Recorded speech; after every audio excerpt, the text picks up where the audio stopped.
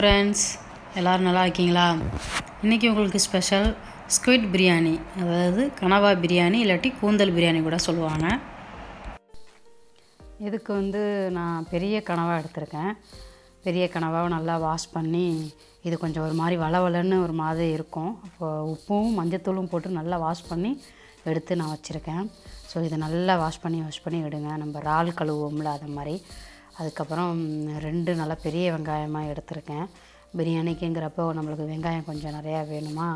அதனால் நல்லா பெரிய வெங்காயமாக ரெண்டு எடுத்திருக்கேன். அப்புறம் தக்காளி ரெண்டு தக்காளி பெரிய தக்காளியாக எடுத்திருக்கேன். நீங்கள் நீங்கள் உங்களுக்கு எவ்வளோ போடணுமோ அந்த மாதிரி ரைஸு தகுந்த மாதிரி நீங்கள் எடுத்துக்கோங்க. இப்போ நான் நான் எடுத்துருக்கிறது ஒரு நாலு பேர் சாப்பிட்ற மாதிரி நான் எடுத்திருக்கேன். ஸோ சின்ன ஒரு எலுமிச்சம்பழம் இது எங்களோட கார்டனில் இருந்தது. ஒரு சில்லி வந்து ஒரு ஆறு சில்லி மாதிரி எடுத்திருக்கேன். உங்களுக்கு நல்லா ஸ்பைசி சாப்பிட்ணும் அப்படின்னு நினச்சிங்கன்னா நீங்கள் உங்களுக்கு தகுந்த மாதிரி நீங்கள் எடுத்துக்கோங்க. எத்தனை சில்லி வேணாலும் போட்டுக்கோங்க. பட் இது கொஞ்சம் ஸ்பைசியாக இருந்தால் தான் அந்த கவுச்சு அடிக்காமல் நல்லாயிருக்கும் கொஞ்சம் ஸ்பைசியாக சாப்பிட்டா தான் நல்லாயிருக்கும் காரம் சாரமாக ஸோ இஞ்சி பூண்டு பேஸ்ட்டும் கொஞ்சம் நிறையா வச்சுக்கோங்க. அதுக்கப்புறம் நம்ம புதினா புதினா மல்லி ஒரு ஒரு அரை கப்பு மாதிரி எடுத்து வச்சுருக்கேன். இஞ்சி பூண்டு பேஸ்ட்டு ஒரு two two two or three spoon இருக்கும். அதுக்கப்புறம் தயிர் ஒரு கால் கப் எடுத்து வச்சுருக்கேன். புதினா மல்லி கொஞ்சம் நிறையாவே வச்சுக்கோங்க. பிரியாணி தேவைப்பட்டுச்சுன்னா நல்லாயிருக்கும். அது போ போட்டிங்கன்னா அதோடய ஃப்ளேவருக்கு பிரியாணிக்கு எப்போதுமே புதினா மல்லி கொஞ்சம் நிறையா போட்டால் நல்லாயிருக்கும். அதுக்கப்புறம் நான் ஒரு ஆறு ஏழு கேஷ்யூ நட்ஸ் எடுத்திருக்கேன். முந்திரி பருப்பு எடுத்திருக்கேன். ஸோ இதை நீங்கள் ஆப்ஷனல் தான். போடனாலும் போடலாம் இல்லாட்டினாலும் வேணாம். பட் போட்டால் கொஞ்சம் நல்லாயிருக்கும். அவ்வளோதான் மசாலா. இதுக்கு வேறு ஒன்றுமே கிடையாது. நம்ம எப்போதும் போல தான் இப்போது இந்த மசாலா வந்து மஞ்சத்தூள் பட்டை கிராம்பு ஏலக்காய்லாம் வச்சுருக்கேன். ஸோ நீங்கள் வந்து பட்டை சில பேருக்கு அந்தோட வாடை பிடிக்காது. சில பேர் தூளாக போடணுன்னு நினப்பாங்க. பிரியாணிக்கு கொஞ்சம் தூளும் போடணும் கொஞ்சம் இதுவும் போடணும். இது வந்து மிளகு ஜீரகம் ஒரு ஸ்பூன் ஒரு ஸ்பூன் தான் எடுத்திருக்கேன். ரொம்பலாம் காரம்லாம் போடலை.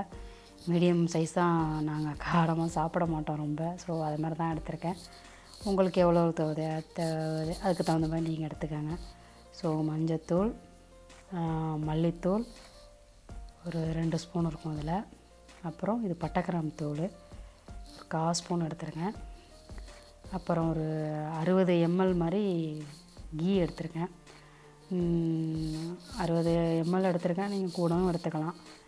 அதுக்கப்புறம் ஒரு ஸ்பூனு மிளகாத்தூள் எடுத்துருக்கேன் நீங்கள் மிளகு ஜீரகம் கொஞ்சம் நிறையா போட்டிங்கன்னா நல்லாயிருக்கும் இதுக்கு. மிளகாவோட காரத்தை விட மிளகு ஜீரகம் காரம் நல்லாயிருக்கும். அப்புறம் பட்டை கிராம்பு ஏலக்காய் இதில் இதில் ரெண்டு அதில் ரெண்டுன்னு எடுத்திருக்கேன். பிரிஞ்சி இலை ஒரு ரெண்டு இலை எடுத்திருக்கேன். இதை போட்டு நீங்கள் இது பண்ணிட வேண்டியதான் அவ்வளோதான் மசாலா. இது நம்ம வந்து மசாலா ஐட்டம்ஸ் அது வந்து வெங்காயம் தக்காளியை போட்டு நம்ம எல்லாத்தையும் போட்டு வணக்கி எடுத்துட வேண்டியதான் சூப்பராக இருக்கும். உப்பு சால்ட்டு உப்பு. சால்ட்டு உப்புனாலும் பரவாயில்ல கல் உப்புனாலும் பரவாயில்ல எது வேணாலும் எடுத்துக்கோங்க. இப்போ நம்ம வந்து செய்வோம். அடுப்பில் ஸ்டார்ட் பண்ணுவோம். நம் ரொம்ப ஈஸி இந்த கனவை வந்து உங்களுக்கு வந்து நம்ம எப்போதுமே சிக்கன் மட்டன் சொல்லிட்டு தான் நம்ம அடிக்கடி பிரியாணி செய்வோம். இதில் கனவாவில் பிரியாணி செஞ்சால் நல்லாயிருக்கும் ஒன்றும் விசில்லாம் விட தேவையில்லை நான் விசில்லாம் விடலை. சும்மா நார்மலாகவே எப்போதும் போல் வதக்கின மாதிரி வதக்கி எடுத்துட்டாலே அது வெந்துடும் விசில்லாம் தேவை கிடையாது. நான் சும்மா சில்வர் சட்டியில் தான் வச்சுருக்கேன் பாருங்கள் நீங்களும் ஒரு நாள் செஞ்சு பார்த்துட்டு சாப்பிடுங்க. சாப்பிட்டுட்டு கமெண்ட் பண்ணுங்கள் அதுக்கப்புறம் நான் இந்த கப்பில் ஒரு நாலு கப்பு ரைஸ் எடுத்திருக்கேன். இது சீரக சாலான்னு ஒரு ரைஸு. அப்புறம் இந்த ரைஸை வந்து நீங்கள் ஸ்டார்ட் பண்ணுறதுக்கு முன்னாடி கொஞ்சம் கழுவி ஊற வச்சு ஊரெல்லாம் வைக்க வேணாம். தண்ணியை வடிகட்டி சும்மா வச்சுட்டா போதும். அவ்வளோதான் நம்ம மசாலாலாம் போட்டு வணக்கத்துக்குள்ளேயும் அதுக்கப்புறம் இது கரெக்டாக இருக்கும் ஸோ அதுக்கப்புறம் நான் குக்கர்லாம் வைக்கலை. சும்மா ஒரு சில்வர் பாத்திரத்தில் தான் வச்சுருக்கேன்.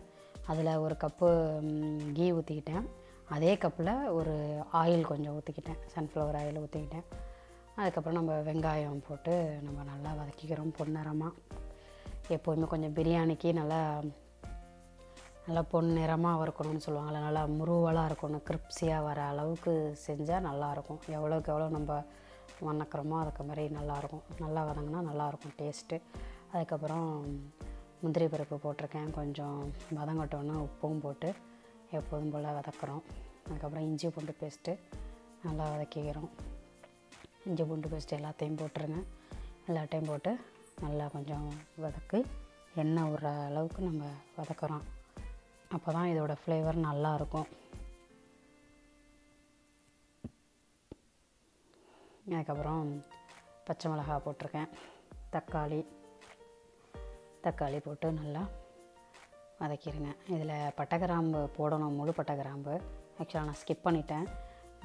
எண்ணெய் ஊற்றிட்டு நீங்கள் முழு பட்டை கிராம்பு தூ- முழு பட்டை கிராம்பு போட்டுட்டு அதுக்கப்புறம் பை ஒன்று ஆட் பண்ணிக்கோங்க.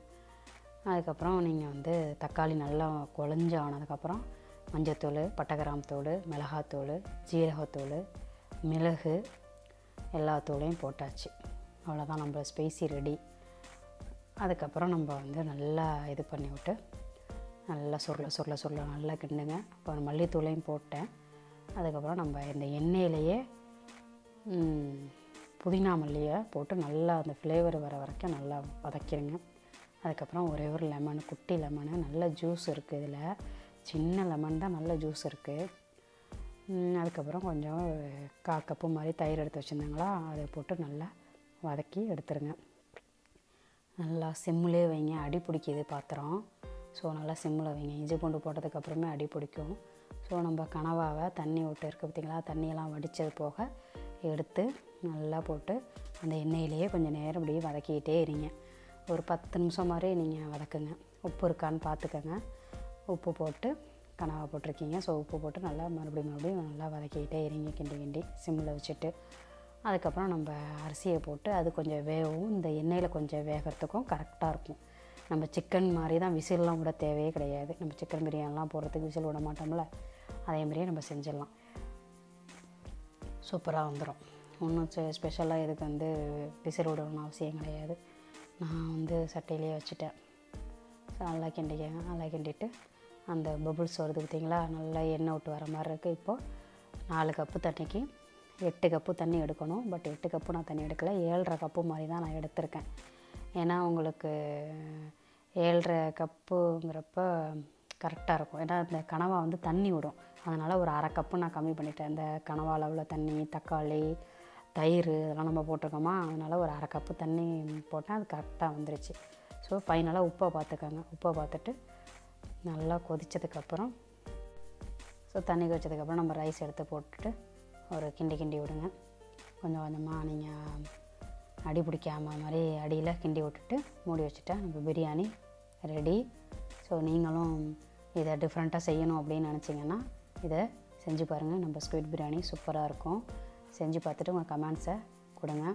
ஷேர் பண்ணுங்கள் லைக் பண்ணுங்கள் மறக்காமல் சப்ஸ்கிரைப் பண்ணுங்கள் Please like and share and subscribe.